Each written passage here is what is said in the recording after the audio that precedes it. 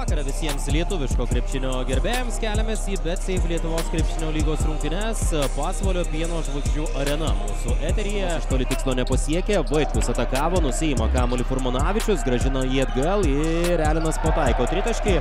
Šiaip neblogai įmeta 54 procentai, įspūdingas pataikymas.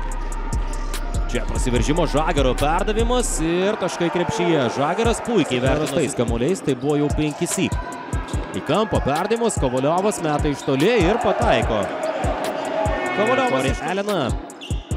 Kovaliovas atgal, neblogai juda kamuolys ir čia puikiai ataka visiškai.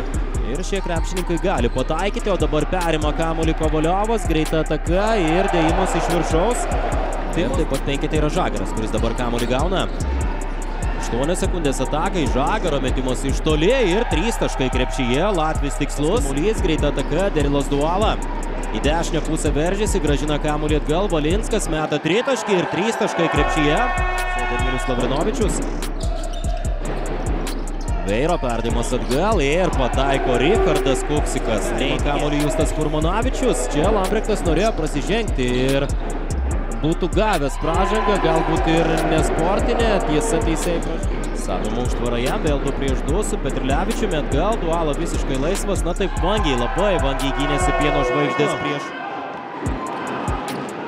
Be Paurus Petrilevičiaus dabar žaidžia nevėžis, bet tikrai puikiai kol kas klostosi komanda. Orealinas, dvigubinta gynyba prieš jį, gražinamos kamuolys atgal, Šaulys meta tritaškį ir pataiko Evaldas Šaulys. Stepautas, kurį taiko Lavrinovičius, į baudos aikštelę perdavimas ir taškai krepšyje, pelno taškus. Į kampą Deivisonas iš karto paleidžia tritaškį ir dar kartą taiklus Bretli. Valinskas vienas prieš vieną ir čia Valinskas pro kairę pusę, bet vis tiek užsibaigė savo stipriąją dešinę ranką. Ir tuo pasinaudojo Valinskas, greita ataka, čia Vaitkus iki galo blokas Danieliaus Lavrinovičiaus. Puikiai aukštai pakilęs Pocevičius ir nespėja grįžti į baudos aikštelę, nespėja užsimti pozicijos, puikiai vertino Pocevičius, nesiryžo rungtyniauti prieš Paulių Petrilevičių, Kuksikas po drėblinko meta tritaškį ir pataiko Rikardas Pocevičius.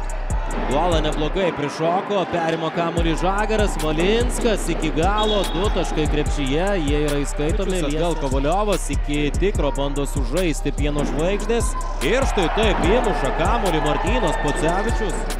Valinsko perdimas Petrilevičiui, gerai juda kamuolys, metimas iš toli ir pataiko tritaškį Bradley Davisonas. Jie du tritaškius. Daugiau rinko dvitaškai, žaidimu vienas prieš vieną. Marius Valinskas, aštuoni metimai iš dvylikos, kalbant apie dvitaškius, pasiekė tikslą. Taigi 93-84 galutinis rezultatas Mariaus Valinsko karjeros rungtynės.